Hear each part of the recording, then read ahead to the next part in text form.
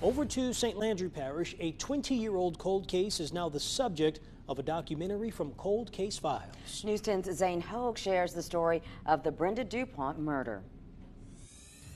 In May of 1988, Brenda DuPont was found murdered in her home, sparking the beginning of an investigation that would not be solved for over 20 years.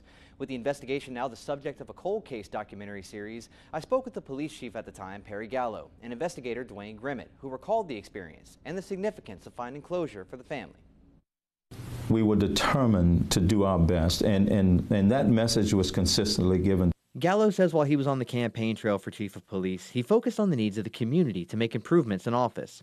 The family of Brenda DuPont was a major part of discussion as DuPont's murder was still unsolved nearly 20 years after her body was found in her home with multiple stab wounds and evidence of sexual assault. When Gallo took office, he was determined to find closure.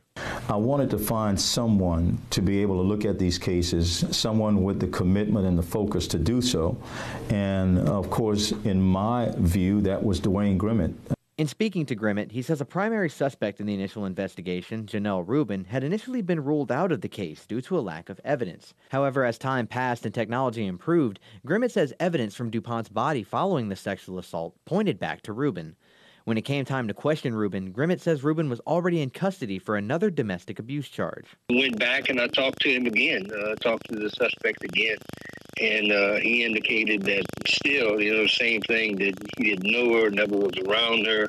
Uh, he, he even told me that he was in jail at the time that the incident happened. A claim that would be proven false after crime lab results came in confirming Rubin's DNA on the body of Brenda DuPont. The ultimate result was a DNA match of Janelle Rubin.